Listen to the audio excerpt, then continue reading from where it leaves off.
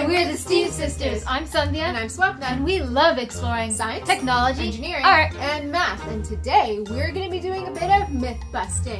Have you ever been walking around chewing some gum and then suddenly, oops, Ooh. swallowed it? Yikes, quite a sticky situation. Or is it?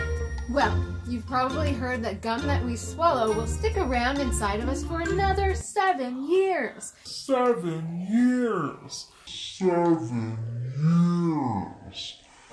Some pretty persistent stuff, but is it really true?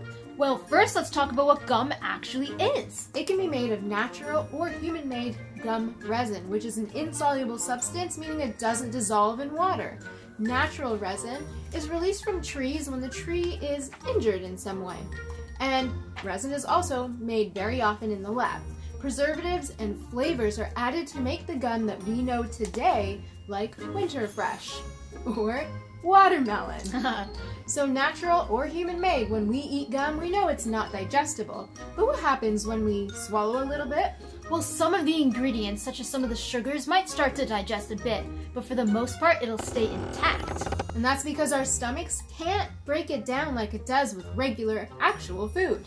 That's right, and so when the gum is moving through the digestive tract, it is mostly unscathed, and then after its exciting little adventure, it comes out the other end in more like a few days rather than seven years. But not so fast, sorry to burst your bubble, but it's still not a good idea to swallow so much gum. That's because if you swallow way too much gum, it could contribute to a bit of a blockage in the intestines or the digestive tract, and we want to just keep that for food and drink. So myth busted. Hope you enjoyed this video. Make sure you check out the Shaftesbury Kids YouTube channel for tons of videos and full episodes of TV shows streaming for free.